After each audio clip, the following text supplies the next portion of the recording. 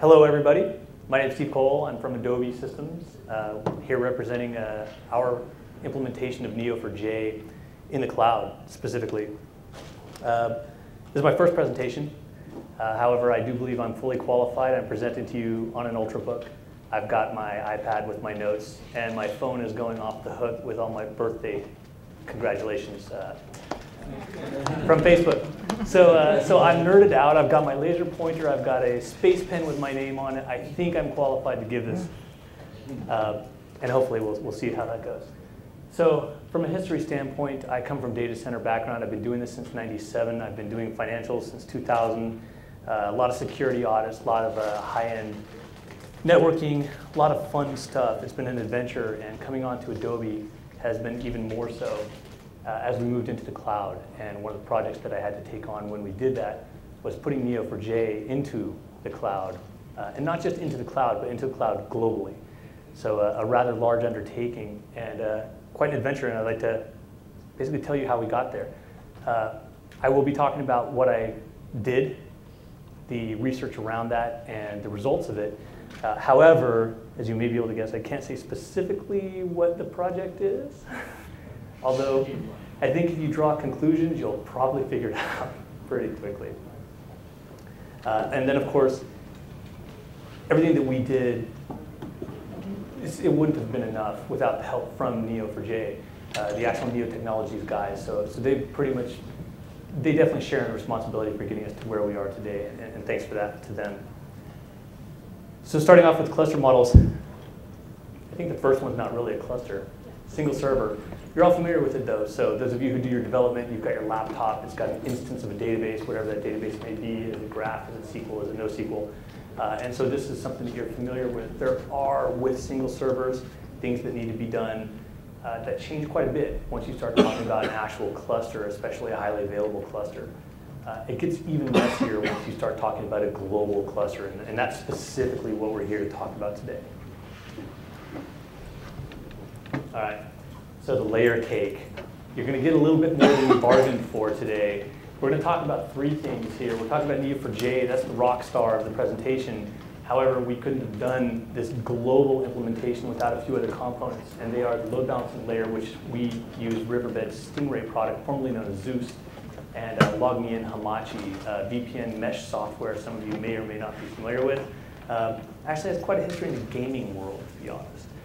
So, uh, so that's our, our layer cake. Um, see if I missed anything else here. Oh yeah, as a true SaaS service, there are other layers, and I'm sure each of you know what these could be. You've got potentially a queuing system, you've got messaging, you've got all sorts of other stuff in front, including probably an actual application layer. You're not going to be running this directly inside Neo4j, or you may. It's certainly capable of doing it. But from the standpoint of this presentation, let's just say that this is a service within a service. So we are not front-ending requests, and, and therefore it introduces some security stuff that we're going we're gonna talk about as well. Uh, Stingray, Stingray we talked about, Neo4j, we love them. We're going to talk about them and Hamachi. So the single server. This diagram took a very long time to put together, but I think I've done a pretty good job of it. uh, however, there are a few things that we do need to talk about. So of course, there are server settings that need to be addressed. I think the Neo pro uh, product does a, a, pretty darn good job of figuring this stuff out for you. It, it literally leaves stuff commented out, and it will do most of the work for you. Uh, some specific needs may need to be addressed. Uh, they address those themselves with each progressive version, which has been awesome. It's less and less work for me as an ops guy to get this thing up and running. Uh, but there are a few things, Java settings, where your plugins live, that sort of thing. Uh, from a client standpoint, single servers are awesome. It's a single endpoint. All you do is you point it at a local host, or you point it at the one server that's running on, and you're done. And uh, it's no muss, no fuss. Instant response. You don't have to worry about consistency. If you wrote a record 10 seconds ago, it's there right now. Risky for production. Not many people do this, although I'm sure some people have. uh, obviously, speed development, we talked about that. This is most often what you've got running on your laptop. And it is, without question, the least complicated to operate. You don't exactly need a DevOps team for it.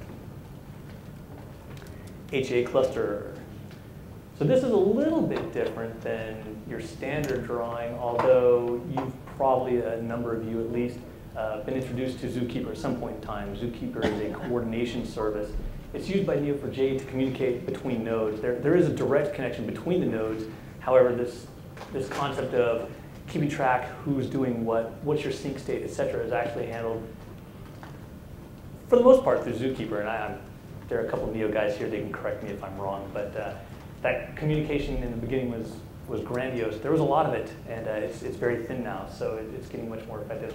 So this is a basic diagram, and of course the load balancer up above, you see that is how you determine which node you're going to talk to. If we're a basic system, we're just two servers, are we talking to both at the same time? Are we talking to round robin? Are we going back and forth between the two of them? How exactly do we want to set that up? Uh, there's a couple of different ways to do it. You can do this through hardware. Data center, great. Cloud, not so great software, which is how we ended up doing it. Um, ELB, the, the services, there I just tipped the hat as to where we might be. Uh, and then there's round robin DNS, or as we like to call it, caveman load balancing. Uh, each of those has its benefits and drawbacks. The, the true trick to load balancing, however, is determining where you want to send your traffic. And so the round robin model, good for developing an app server or service, hit every single server and you know, if one breaks, you, you've identified it, you can move on. Uh, with a database, it's a little bit different, and I think probably a few of you have seen uh, Facebook progress to the point that you post your status updates and it appears.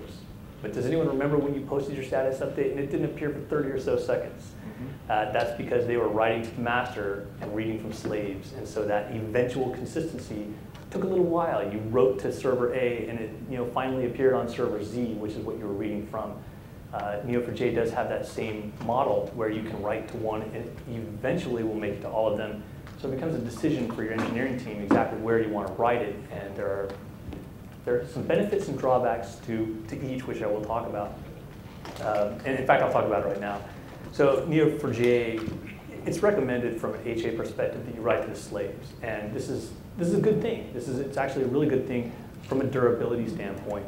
You write to the slave, the slave has that record, it sends it off to the master, the master writes that record, and now it's actually part of the actual database snapshot, and it can be distributed to any number of nodes that you have in the cluster. Um, if for some reason that master were to crash, to go down, or you know, Chaos Monkey was just released, right? You decided to nuke that instance, uh, your slave still has it. And a re-election will occur, a new master will become, uh, will be chosen through the Zookeeper service, and then that slave will say, by the way, I've got this other record in case you don't have it, and you're in sync again. So a very, very good durability choice. Uh, we opted to go the other way, though, just to make their lives hard. We, we chose to write to the master, and for a couple of reasons. One, we've got a lot of slaves, and so if all these different nodes are receiving traffic, it was our perception that they would be flooding the master anyway. So if that's going to be the case, why don't we remove that extra step and put all the load on the master to begin with, and then free the slaves up for sync, which is pretty basic and very thin, uh, and complex queries, which is where we expected the slaves to be really working. What happens when you've got a multi-node traversal, or you've got some complex query that you need to be executed, or even a batch mode of multiple queries? So we decided we wanted to leave the slaves free to do their work, and we chose to write to the master. That did introduce a few problems, though. And the most obvious one is if the master crashes while you're doing this, which as part of our acceptance testing, we do crash it on purpose. Um, you've got a little bit of a problem, you just lost a record. And it can manifest itself in, in a number of ways, but uh, most immediate, the load balancer starts to fail. You start getting application level errors, and it's really bad. But uh, I'm very pleased to say the, next, the newest release of Neo4j, which is on their website, has solved this. They've actually got uh, some durability built in, and I've been talking to the guys at the booth for quite a while today. I don't know how they did it, but they're not only more durable, but they're twice as fast. So the, the latest release, if you haven't downloaded it, definitely do take a look. Endpoint decisions, uh, that's, that's another one here. The endpoint decision, that's the master-slave thing. It, it, also gets into uh, the concept of a read pool and a write pool. Do you want to separate them? Do you not? Uh, again, these are decisions that are made per application, and, and I think your engineering team probably best to figure those out. So global clusters. global clusters got really interesting for us. So we solved the HA problem. We had this thing running in a single region at Amazon, and it was performing quite well. We had acceptance tests that they were passing. Uh, the NEO guys were working with us to help us to understand all the in intricacies of master elections and all that stuff so that we could build around that to make sure that we knew what was going to happen. You know, this needed to be a 24-7, zero downtime service. So then we took it global, and everything started to break. When I say global, what I mean is three regions. We're running in the United States, we're running in Europe, and we're running in Asia. Three Amazon regions.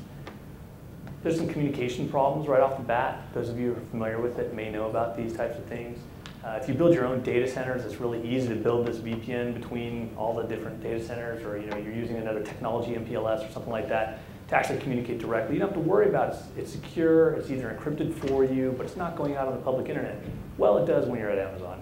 There are solutions, there are ways around it, but because we're part of a larger project, we're not the only client of, of the Amazon service that we're using, we had constraints and we had to treat it as if we were you know, some guy doing a hobby site with three servers and three regions.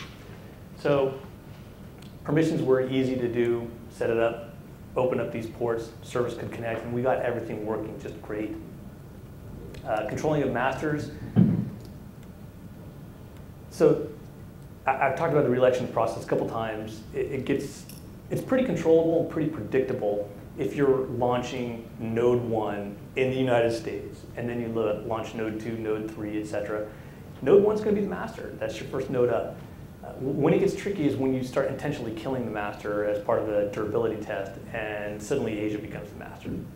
Now, every record that you write in the US, which is where the majority of our front-end traffic would appear, is going to Asia, and then from there being distributed back to Europe and the US, which is great, functional, it's rock solid, it worked every time, but it started to get a little bit slow. So what we needed to do is start controlling the master.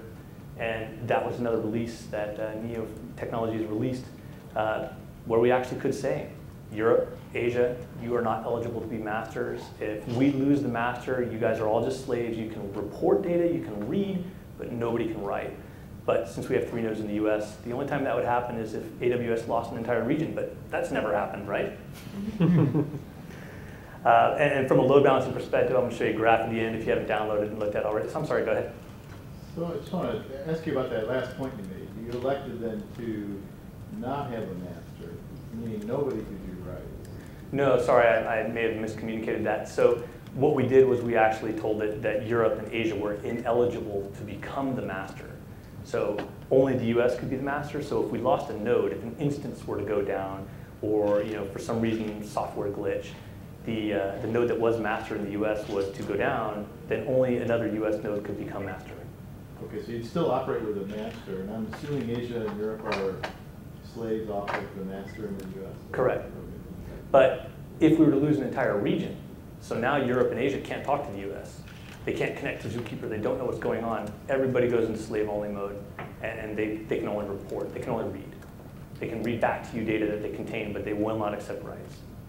And so we've got a little bit more detail than I was looking to touch on, but uh, we have a system then where we'd actually reconfigure Europe to be the master. So we have a process. It's like, hey, Amazon US East just went down.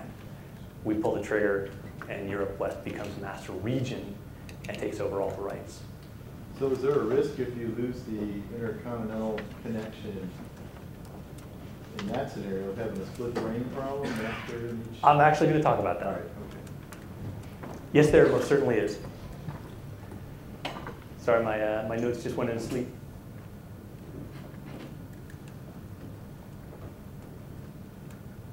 Okay, and then the load balancing, again, I'm going to talk about that a little bit more. Uh, global performance, by the way, if you start writing data to the master at a rate of X, uh, and you expand that from one region to two and two regions to three, no difference in performance. The sync is happening behind the scenes. It, it doesn't impact the, uh, the master at all. So LogMeIn Hamachi. So first of all, LogMeIn Hamachi. It's a VPN mesh software, and I'm sure you guys know of other solutions, and we did indeed check some other solutions out to see what worked best for us. Uh, specifically OpenVPN, I think a, a, lot of you are familiar with. And uh, there was another product that, that works well with the cloud that's called a Neo Router.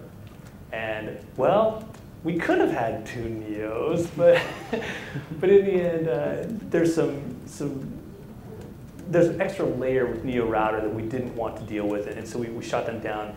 Uh, but most of all, LogMeIn Hamachi, which is sort of a dead product right now, it's just it's sitting stagnant. They're not actively developing it, but the the benefits that it brought with its command line tools were so great that it enables to do so much with our command and control service, which I'll talk about at the end, that uh, it, it, was the clear winner. So we, we negotiated with uh, LogMeIn and, and got a, a, sweet little deal with them, uh, not price-wise, but uh, at least a commitment to support us, which was, which was great. Uh, it provides encrypted communications, a VPN mesh uh, with Neo4j, at least in the early versions. I, I think the newer versions are a little bit different, but at least in the earlier versions, if you had three nodes, you had you know A to B, A to C, you had B to C, B to A, and back and forth you had, I mean, triangle's easy, right? But once you get the square, you start getting cross, and you go to five, and six, and nine nodes. That's a lot of connections. Uh, too much to actively manage with uh, with peer-to-peer, so we went with mesh. Uh, it also enabled us to do some other things, which I'll talk about on the last slide. So uh, encrypted connections, the, the way it works, it's an adapter that sits on top of your IP address and then gives you effectively a static IP that's a five dot. You know, it's, it's actually it's routable, but it's it's unused. And, uh, and, and, in doing this, we could lose an instance. This has nothing to do with Neo4j. This is an Amazon thing, right? We could lose an instance entirely, have that instance come back up, and assume that IP again, and then we're back up and running. And Neo didn't even notice, other than the fact that the system went down and came back up. It had no clue that it's a new box. So it has worked really well from that perspective. Uh, again, the CLI tools empowered some functionality we're going to cover at the last slide. Uh, a tip for anyone who actually does use Hamachi today or, or, considers it as a result of this presentation, which would flatter me to tears. Uh, don't let it do plug and play port decisions. Force it to use a static port. And if anybody has questions about how to do that, I'm happy to tell you. Uh, the, the floating ports, at least in Amazon and at least in a, a public cloud environment, uh, the, the, floating ports just don't work. I mean, you've got to open your security groups to basically anything UDP from any host, and you never know what's going on. With a static port, you can at least limit the port and the protocol, and then you can start limiting down to actually like egress IPs when you send traffic out. Um, EIPs, by the way, didn't work very well for us. so We, we backed out of those.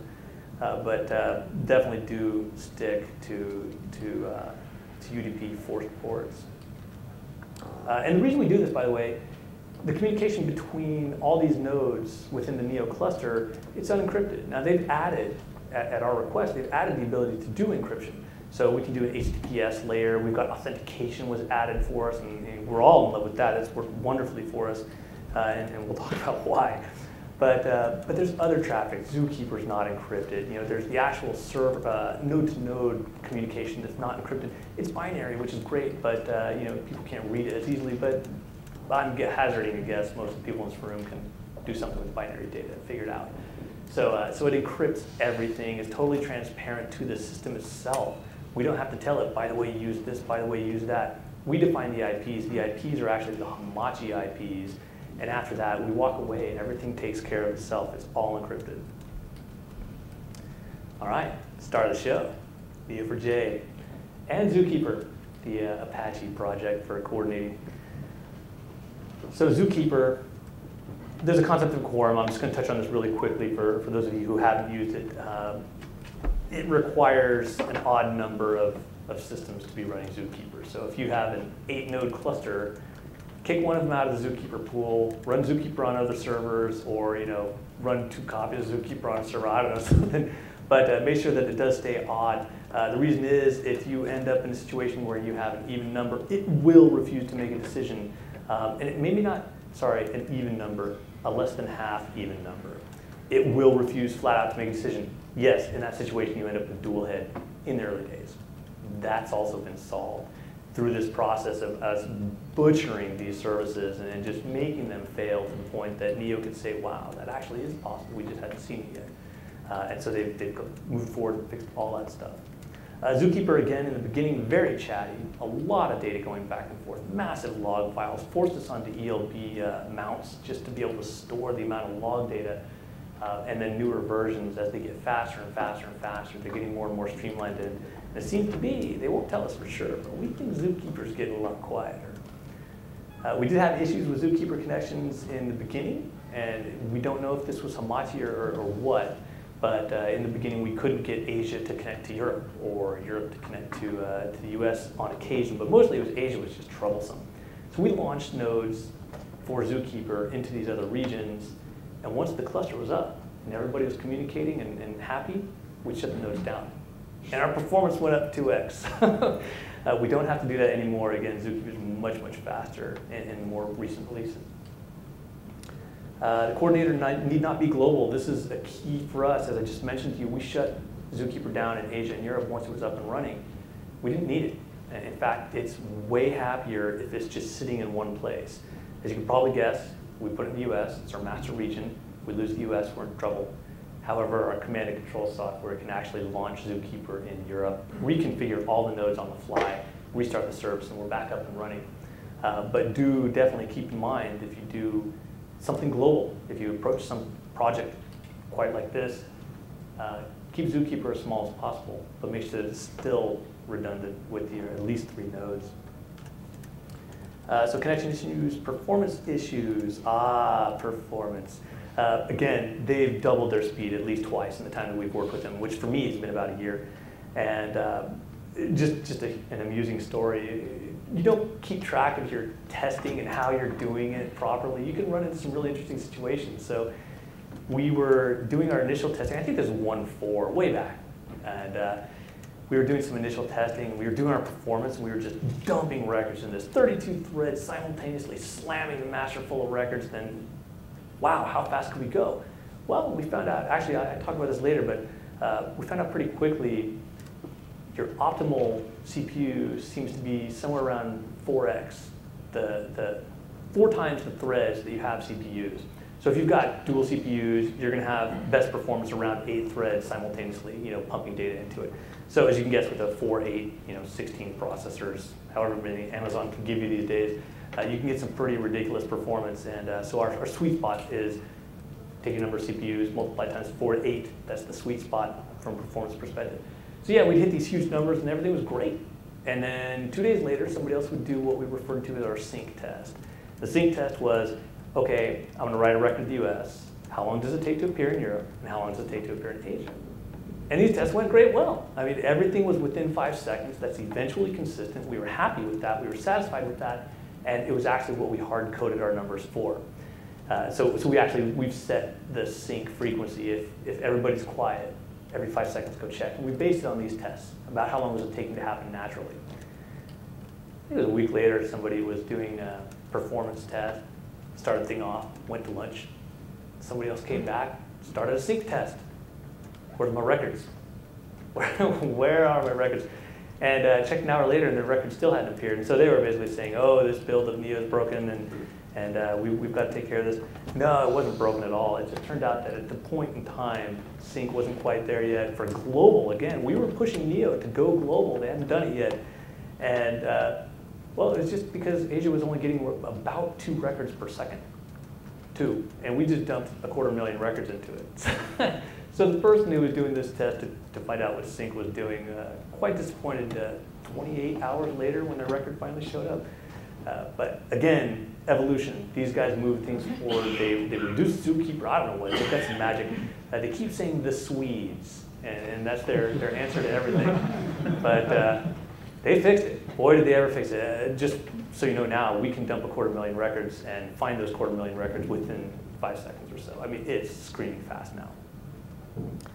Uh, no way to encrypt all traffic. That sounds redundant. Uh, it's just, again, it's not built into Neo. This is a layer they're expecting to be behind some sort of a firewall. So when we're sending it across the globe over public routable addresses, we've encrypted it. But uh, in a data center, you know, you're fine. How am I doing on time? I'm doing all right, good. Riverbed Stingray. So again, some of you may know this as Zeus. It was formerly Zeus. It was a software product, and uh, it was purchased by Riverbed. Riverbed. They've renamed it Stingray. They've done some interesting things with it. Um, at the time we were doing our research, ELBs were great, but they were missing one kind of important thing. Does anyone know what ELBs can't do that they should do? You can't put security groups on them. So here we were, a back-end service, not exposed to the public, and our front-end service was exposed to the public, and then somebody pointed out that, no, the public can actually talk directly to Neo. They don't have to go through the front end. Why is that? Oh, look at that. Security groups on the instances did not apply to ELBs. Things may have changed. I haven't touched things in a few months, uh, and I know that they were working on. They were very well aware of it. They were they're looking at ideas for, for how to solve it, and uh, I, I'm not sure what they've done with it recently. So I'll have to take another look. But at the time, no, you could not do it. You could not secure traffic, and therefore we had a little bit of an issue. Uh, at the time, also, they did not yet have the, uh, the authentication layer that you could apply to Neo4j, where when somebody requested, give me an entire snapshot of the database, you'd authenticate them. So that does exist now. It's a great thing. We love it. And on top of that, we've put all of our services behind a, uh, an Amazon, a cloud-based load balancer that's not the ELB. Uh, biggest benefit on this is that you apply the security groups that you want. You can do your port protection, you can do your source protection, all of that on the instance that's running the Stingray software. Uh, when we first started, this was an Amazon subscription service. I don't know if any of you have used that. Uh, subscription services were something where you actually select an AMI, say, I want to use this, and then you pay Riverbed through Amazon on a monthly basis for how many you're running, how many hours you run, et cetera, which is very nice. It is a really convenient, really cool way to get things up and running. But in the end, once we went global, we had nine, 12, we had a lot. We had a lot of these services running. So we ended up making a deal with Riverbed to actually get installable versions as opposed to, uh, to monthly costs, which worked out really well. So the security groups were one thing. Uh, they also, because they run on EIPs as an HA service, if load balancer A goes down, load balancer B picks up. Uh, they use a floating EIP to do this. So some of you may have used things like HA Linux or uh, other solutions to, to actually move a physical, or not physical, but move an actual IP from one server to another, uh, which you can do at Linode and other places, but you can't do that at Amazon. You get one IP address, that's it, that's all you can use.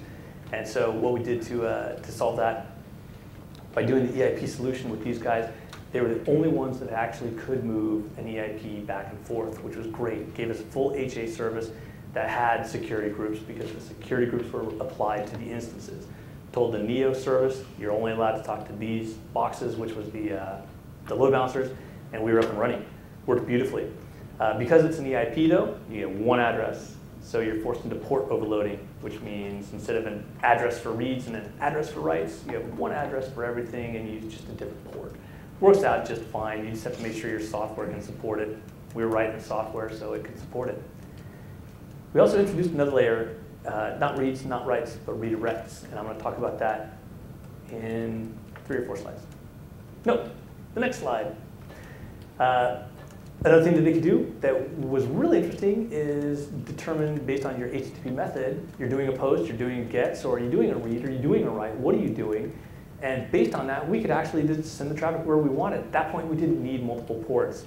Um, however, we started using batch mode. Batch, batch, mode, even if it's a read, runs as a post, it runs as a write. And so therefore, we had to then split the things up to uh, make sure that we talk to the right services, or sorry, servers in the cluster. Uh, one of the things that we've done to facilitate that is we wrote a health check jar. Uh, this probably it's probably something that you want to investigate if you're using Neo4j behind the load balancer. Uh, the reason being, you can access the state. Am I master? Am I slave? You can access that directly through REST calls, talking to JMX, and then parse that out, find out what you're looking for. And for the most part, it's pretty fast. But what we found out is if you're hammering a server, it's not fast at all. You start getting pretty slow responses on that. But then again, you're sending a report of data that's that much, and all you need is one line. So in the end, we wrote a jar to actually talk to Neo directly through Java, get that one piece of information that we needed, and run with that. And ever since then, it's, it's you know, 10 millisecond response time. Every single time we hit it, no matter what the load is, it works great. So we basically got it answering, when you ask slave or master, it answers 200 or 404. Either yes, okay, or not found. Either way, it turns the load balancer off. It, it won't put. So we've got two pools pointing at three nodes. And this one's only going to talk to the slaves, the read, and the master will only, or the write will only point to the master. And that may switch back and forth uh, based on the health check. One of the most recent things that, that we got from the NEO team was the ability to do live upgrades. And uh, updates were one thing, where we changed configurations, we could just restart server and move on. Upgrades were the big one. Uh, they were the big one for us. Uh, database format changes with uh, you know 1.4 to 1.5, 1.5 to, uh, to 1.6, I think as well. These caused us to go down. And yeah, we've got a queuing layer, but that queuing layer is only going to run for a little while before it basically says this failed, and that's not a good thing. So these guys worked really hard to get it for us. 1.8 has it, the ability to do a live upgrade. We've actually tested this. So you've got a running cluster, you've got a master here, you upgrade all the slaves to the newest version, not just a, a small update, but an actual version with database changes, and then finally you move the master off somewhere else and then upgrade that last guy, and you were never down 24-7 uptime. That's what we were looking for. These guys delivered it. However, it alone isn't enough. You had to do something with the load balancer as well. So what we did was with this health check jar that we wrote, that otherwise just querying the status, are you master, are you slave, we had the ability to trick it. Pretty basic, right? We just create a text file that says you are a master. And then this thing, no matter what its actual state, will respond as a master.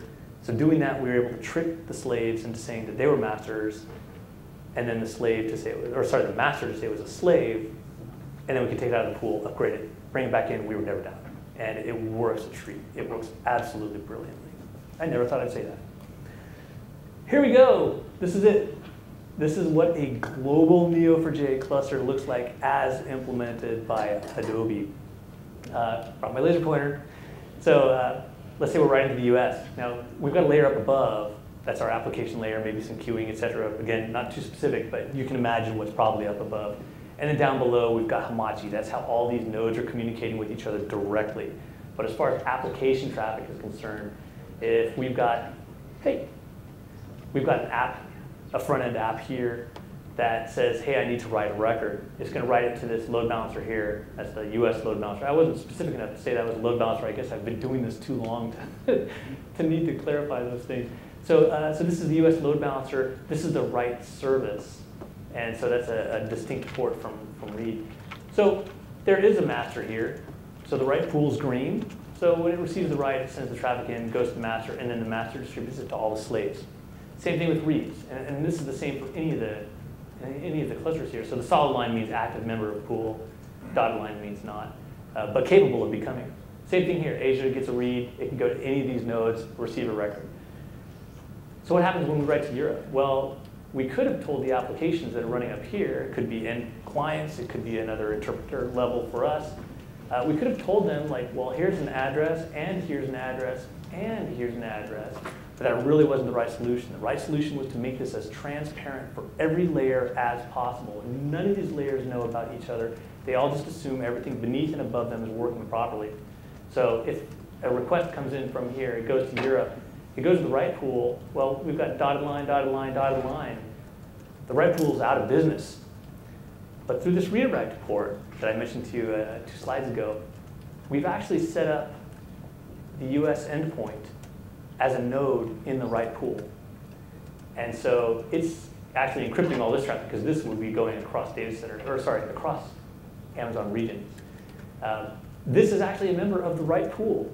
And so when this traffic comes in, it's actually sent over to the US transparently. The application above Neo4j and above our system has no clue that that just happened, which means that this could all go entirely down. Not that an entire region of Amazon would go down. And either one of these guys, which we use Europe, uh, we could make this master. And then for Asia, same thing here. Write comes in. Currently, it would go to the US. If the US was down, it'd follow that dotted line over here, find the master, go through the write pool, and be done. Uh, this has worked wonderfully. Uh, as you can probably guess, it's kind of spendy. We've got a lot of layers going on, a lot of instances running. And uh, hey, did that skip for me? No, I did.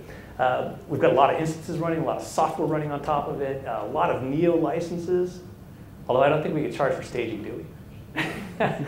um, and, and so we don't do that in all of our environments. However, we do have one environment up and running and ready for any developer to test this kind of stuff to make sure that we are indeed staying transparent. Yes, sir. So you mentioned that the application, you want to keep it transparent and not know about the geography. Correct. So what, how do they discover their endpoint, who they're talking to? Well, that's actually, that is configured, right? So during deployment, any app in the US region is told that this is its endpoint here in the US. But if that endpoint were down, if that region were down, then that front-end app That wouldn't be receiving traffic either. Oh, they're dependent. Well, no, no, we're, we're assuming that if the region went down, that the apps hosted in that same region would also be down. Okay. So they, we would assume, now this is it, right? You never know for sure. We would assume that that app would be down. So, so something could go sideways where maybe, uh, these are, by the way, these are all distributed across zones, right? None of these occupies the same zone. Every single one is in a separate zone in each region. And uh, actually not in Asia. I think there were only two zones in Asia when we deployed. But, uh, but anyway, uh, yeah, we would assume that the front-end app servers would be down as well, so that they wouldn't be trying to communicate with the back end. Although it's possible that they could, but they just can't see the rest. And if that's the case, that back-end Neo layer is going to have failed as well, and we're going to see the, the status that we've lost the master, we don't know what's going on. Anything else on this? This is kind of a pretty brutal drawing. No, we're good, okay. So from a command and control perspective, this is, uh, this is something that I'm very actively trying to get Adobe to either open source or to bless Neo to, to give to all of you guys. Uh, it's my pride and joy, it's my little baby. Um, and we've named it Keanu. Probably guessed the reference there. So uh, Keanu is our command and control software. And it started off as just a bunch of tools, just a handful of tools that were all shell scripts. You've all done this, I'm sure, or at least most of you, where you've got the set of tools and it grows and it grows and it grows and it grows. And the next thing you know, you're giving copies to guys under NDA so they can see how your stuff's working. And you build on it, you, you improve it, you put APIs behind it, you start automating it. And the next thing you know, you've got this disparate collection of stuff that's being depended upon by a lot of people. So we moved it forward. We've taken uh, this, this set of tools that's capable of doing deployments, doing uh, DevOps, managing the systems, doing logging, doing monitoring, doing every single thing that you can think of from a DevOps perspective, with the exception of actually being the guy to pick up the phone and call somebody and say, hey, server down. Uh, it's close though. Everything's built into this system that we're calling Keanu. Uh, it was only possible through what Neo tells us when we ask them, and through some of the stuff that we do with Hamachi. And I'm trying not to oversell them, but, but really they did kind of make this work for us uh, from the automation, from the global deployment and management perspective. Uh, certainly the features themselves Neo put in, and we would not be up and running today without those. But the, the ability to run this stuff from an automated standpoint with the command line tools, with a GUI, with an API, run it as a service. I'm probably not supposed to mention this here, but our command and control service is a LAMP. We are using MySQL. So if anyone could help us with that, we'd like to get off. But, uh, but it, it does everything for us. It does deploys. It does upgrades where we, uh, we need to you know, get from 1.5 to 1.8. It does updates where we've just changed the jar file, like the health check jar or something like that. It'll do that for us. Uh, if we make a configuration change, if we go from six nodes, maybe we're only to, uh, you know, two servers in two regions and two servers in one, uh, and we decide to make that three or four, you know, we can make these changes centrally in one location and it will intelligently and dynamically figure this stuff out for us, put it together, build the configuration files that Neo4j needs to run the way that it's capable of running, and then send those down the pipeline and restart the services and the system's up and running uh, with, with little to no downtime. And, and again, with the upgrades, if we're doing configuration changes, we might have some downtime, but with upgrades, we're, we're not going down at all for anything. Uh, backends, you can probably guess, Nagios, syslog, cacti, that kind of stuff. Uh, and that's pretty much it. I went way faster than I practiced this thing. Uh, so yeah, as far as Neo4j, they've been phenomenally uh, helpful in terms of the amount of work that they've done to get us into a global position. Uh, they've been very receptive to everything that we've done in terms of putting into the cloud and the challenges, the very unique challenges that that entailed. I actually, you know, as much time as I spent in the data center, I was stunned at the amount of differences you face when you're deploying something like this in a cloud. Uh, and, and they really stepped up. They made it happen. Uh, adding the layers above and below, also very much required for, for what we're doing. Uh, we had to have that load balancing layer and we had to have that backend VPN layer. Again, somebody using an MPLS or, or something similar could very easily implement that Hamachi layer that, that we used. However, as a public cloud client, we didn't have that option. And yes, there are other tools, again, not available to us, made it work, but there are other ways that that could be done. Either of these could be swapped out, the, the load balancing layer, the backend VPN. And, uh, and that's pretty much it. So I am sorry for going so fast. If I spoke too fast, uh, if I missed material, but by all means, I'm happy to answer any questions anybody might have. That'd be no questions? All right, well, I'm gonna go hang out with those guys at their booth. So if you change your mind or you're just nervous about saying in front of everybody else, come by, talk to me. I'd be happy to, to share with you anything that, that I can that doesn't require an NDA.